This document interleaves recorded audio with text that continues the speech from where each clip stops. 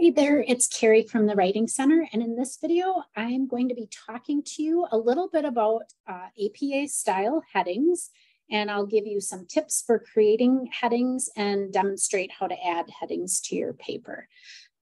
Uh, so generally, when you're creating a project in APA, if it has, if the project itself has more than one paragraph, you are supposed to include headings. Most of the time, the projects that students complete here at Western, uh, they really all that's ever used are what are called level one headings. So if you think about an outline, there are various levels in an outline, and the longer the outline, the more the levels. Usually, most projects here just use level one. So that's what I'll be showing you today. But if you need to use multi-level headings, you can either check the APA website, or you can reach out to the Writing Center and we will help you do that. So let's assume that you've already created your title page and you are ready to start working on your project. So I'm gonna go ahead and go down to the second page of my project because remember, our title page is a separate page and our actual written project will begin on page two or like the next new page after the title page. And so we're going to create headings that will ultimately appear before, ahead of and or sort of on top of each new paragraph in our project. The first heading and the last heading are typically very easy for you because in general, they are always introduction and conclusion. So what you have to come up with are the wording for the headings for kind of the body of your project or the body of your paper.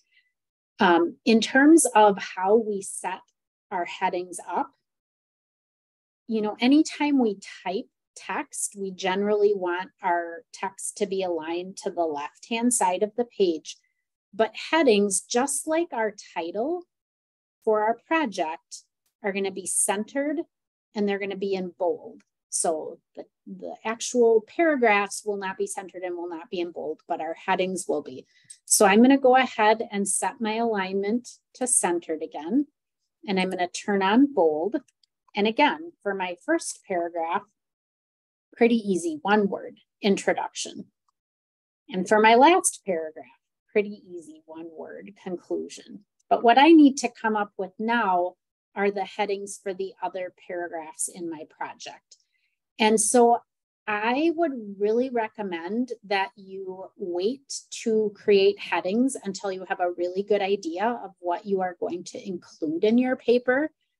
Very often, if you are doing a research paper, which is a really common assignment with APA, you'll gather your research. And after reading your sources, you'll start to notice some common themes or some common ideas or topics that are talked about in multiple sources.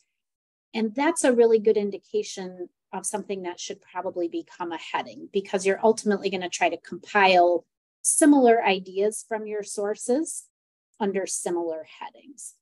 So let's just take, for example, I'm doing a research paper on sleep disorders. And so I have gone out and I found my research on you know different studies on sleep disorders and different experts writing about their knowledge of sleep disorders or what they've observed.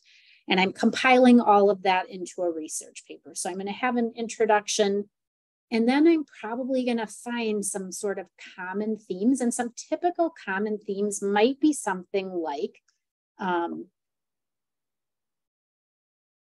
you know, I, I probably read a lot of these articles talked about symptoms of sleep disorders. So maybe that's going to be one of the areas that I talk about in my paper.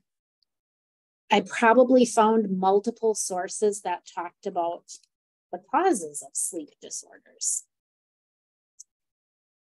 And ideally,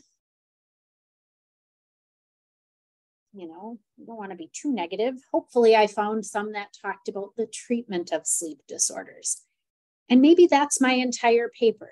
I'm going to first, you know, report on what these experts say about the symptoms. Then I'm going to have another paragraph that talks about the causes.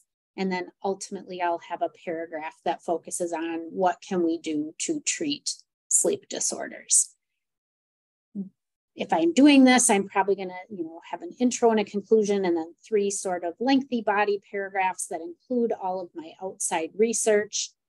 Just want to note that um, you do not have to have three body paragraphs. You could have two, you could have four, you could have six.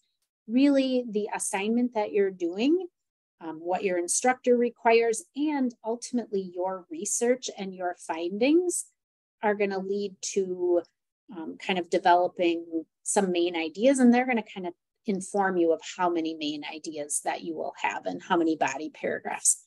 A couple last notes about formatting our headings. Typically, headings are anywhere from one to five words long. So they you shouldn't be writing a complete sentence for a heading. They're more like a bullet point.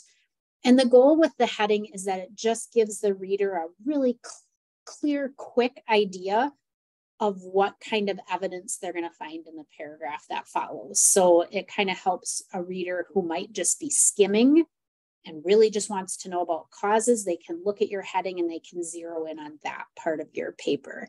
Um, so again, like anywhere from one to five words doesn't mean you could never have six, but in general, um, headings are pretty short. Like I said, they're bullet points.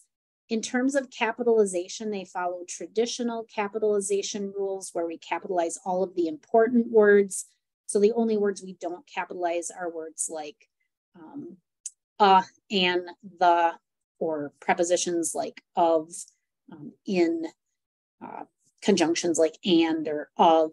Otherwise, all important words would be capitalized. So that is our formatting for our heading. And then again, once I was ready to actually start typing my introduction, I'm going to go back and I'm going to undo my centered alignment, set my alignment back to the left.